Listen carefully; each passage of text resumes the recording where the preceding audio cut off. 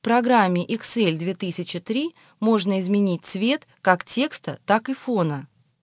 Чтобы изменить цвет текста, нужно найти на панели инструментов кнопку в виде заглавной буквы А с подчеркиванием в квадрате и правее ее произвести щелчок левой кнопкой мыши на указателе и выбрать один из цветов в списке. Также можно изменять цвет фона.